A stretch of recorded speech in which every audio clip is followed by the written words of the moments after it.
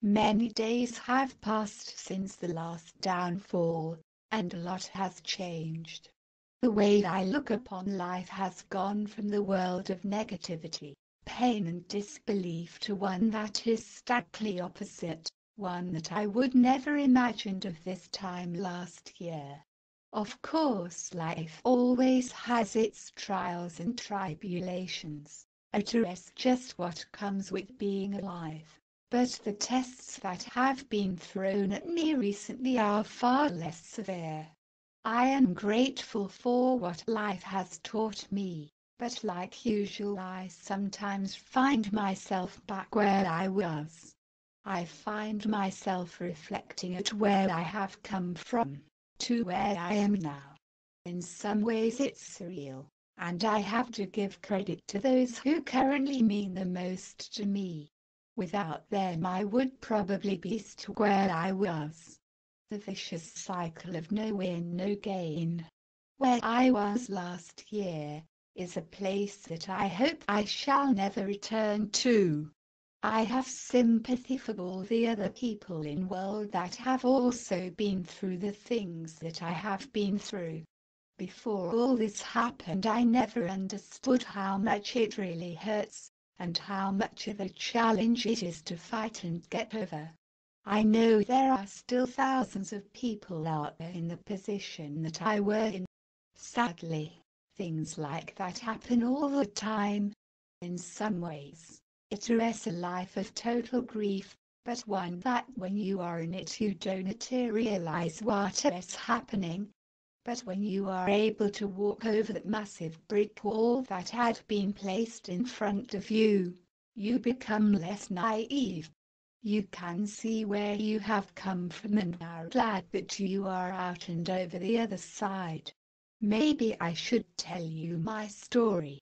The story of what has happened through seven years of grief that I have faced. My name is Clara and I live in a cozy semi-detached cottage, in small village, in the rolling hills of Yorkshire in northern England. Where I live there now has been home since my very humble beginnings 20 years ago.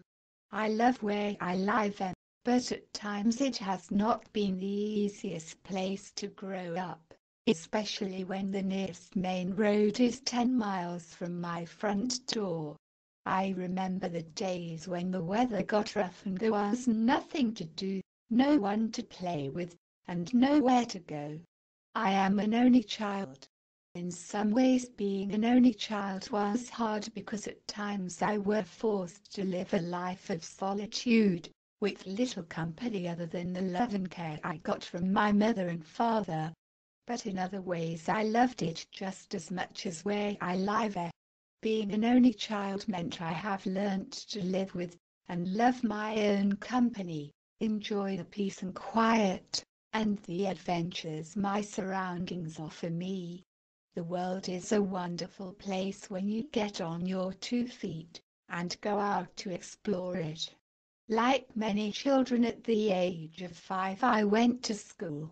My primary school was more than just school to me. Not only does my mum work there as an early years teaching assistant, it was a place of many happy memories. At school I had many friends. When I look back at my school days, I get floods of joyful emotions rushing back to me. To me school was an escape from my silent life.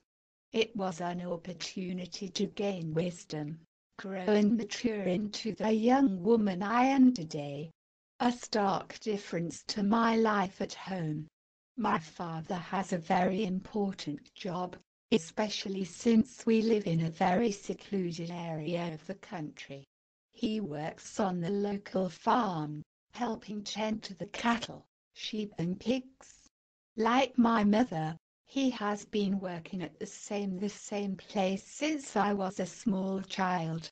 I remember a day, when I was about three years of age going to work with him. The sun was shining and the sky was blue, and in the background, silence, nothing but the noise of the countryside. and the animals that lived there. I love my mother and father very dearly.